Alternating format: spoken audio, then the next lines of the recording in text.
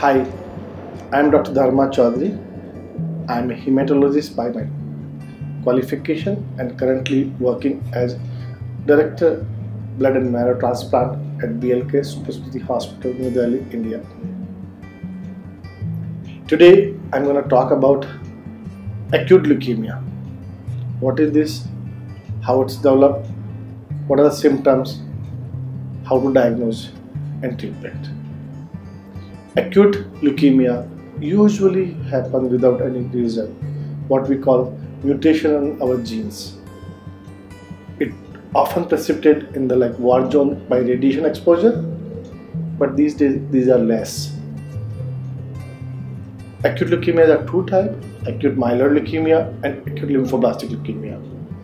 What happened in acute leukemias?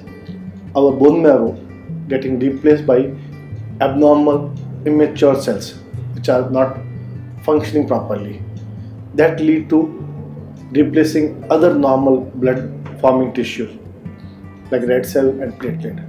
Eventually leads to anemia like low hemoglobin and low platelet. And these cells the, the fall in hemoglobin and platelet can lead to weakness which most often patient complain bleeding or persistent fever.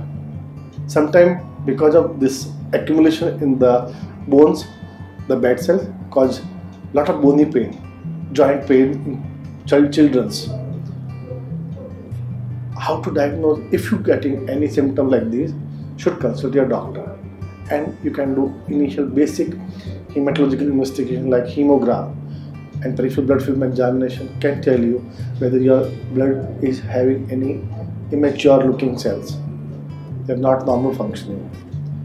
And if you notice that, then they should be subjected without any delay to bone marrow aspiration and biopsy along with molecular and cytogenic tests.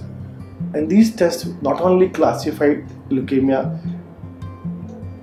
rightly, but they can also tell the patient what specific treatment one can get because there are so many targeted therapies. So many like if m3 leukemia if you give atra one drug which directly act on genes or there are so many FLT3 inhibitor which can directly target these leukemic clone and lead to higher cure rate and they, these markers can also tell you how aggressively one treat.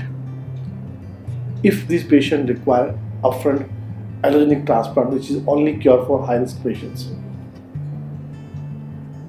If you notice leukemias, you should be getting chemotherapy as emergency as one can reach to the doctor.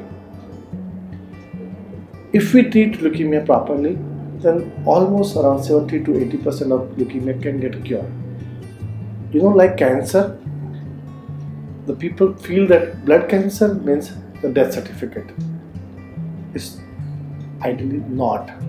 The blood cancer only get cure many solid cancer they don't get cure blood cancer get cure and this very good example like pediatric acute lymphoblastic leukemia pediatric ALL where chemotherapy alone can cure more than 90% of children and they lead normal life in future. Another leukemia APM, I, was saying, give arsenic and ATRA, some targeted treatment, and more than 90% of patients can get cured. You don't need too much of chemotherapy, too much of transplant for these patients. So identification, early identification, and proper treatment is must. We at BLK did a lot many leukemia in our hematology program and we get patients not only from India but from various SAARC countries, Africa, CIS, Middle East, UAE, and sometimes the, the edge far from the Fiji island. If you have any query, you can connect with us through your reports. We can analyze them and we can communicate further and come up with the best possible opinion for you. Remember, we can help you anytime to get rid of, of leukemia which have cure. Believe in you, you will not be on loser side. If you treat properly leukemia, you will win. Thank you.